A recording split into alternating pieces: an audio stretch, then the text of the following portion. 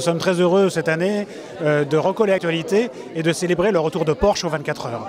Quant au parrain, nous avons euh, la joie de voir euh, Jürgen Bartz accepter d'être notre, parrain et de venir sur le site le 13 juin.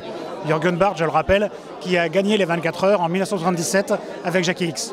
Stéphane Ouvrignon, le Saint-Saturnin Classic British Welcome, c'est une semaine de fête avec naturellement une journée qui est un petit peu le pic des festivités, c'est le vendredi, vendredi 13 juin en l'occurrence, avec pour cette édition 2014 une euh, exposition d'une qualité vraiment exceptionnelle.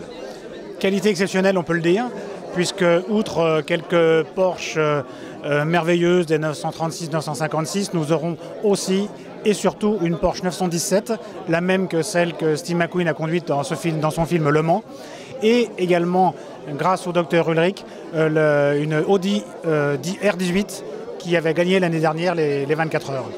Donc nous aurons euh, dans la salle du Val-de-Vray, il faut bien imaginer, deux monstres face à face, et je crois que les gens auront pour leurs yeux, dans leurs yeux. Absolument, ce sera une rencontre complètement euh, inédite. À propos justement de, la fréquentation publique, nombre de voitures euh, également, vous vous attendez à battre des records cette année? Vu les retours que nous avons déjà, oui.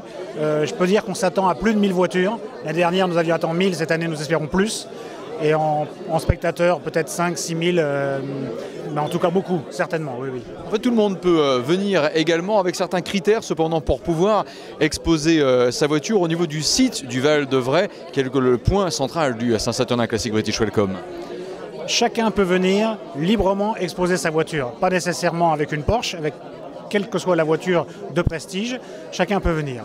Et euh, également, ce qu'il faut signaler, c'est la gratuité de l'accessibilité à la manifestation, que vous soyez spectateur ou participant. De toute façon, la seule chose qu'on vous demande, c'est un sourire pour éclairer votre visage et en tout cas pour avoir, s'il n'y a pas de soleil dans le ciel, qu'on en ait un sur les visages.